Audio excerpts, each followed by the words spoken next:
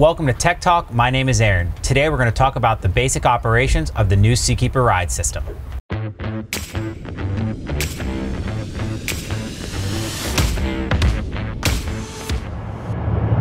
95% of the time you're not going to need to adjust the ride system.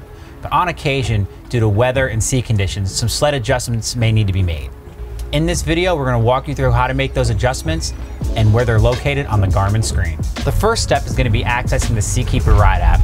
To do so, you're going to want to click your home screen, find the Vessels section, and then look for the Seakeeper Ride logo. Once it opens, you'll know you're on the home screen when the house is illuminated blue. The Seakeeper ride system has two modes, manual and auto.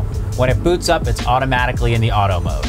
To change it to the manual mode, you click the blue Seakeeper logo in the center of the screen, and you'll notice under it, it says manual in white. Once there, that gives you full manual control of the Seakeeper ride system. When the system is in auto, it's almost always going to keep the boat completely level when you're underway. There will be some instances where you want to override the auto mode and change the boat's attitude to the running conditions you're in. You do so by pressing the four buttons around the Seakeeper emblem.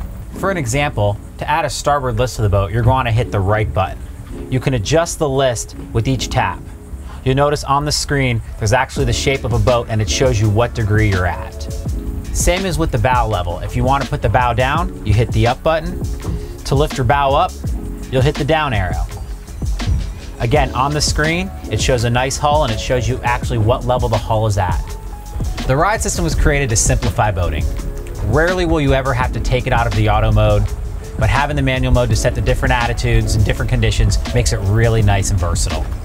We really feel that this is the next big system in the boating industry, and we're proud to partner with Seakeeper on this to be one of their launch partners. If you guys have any questions or comments, leave them below.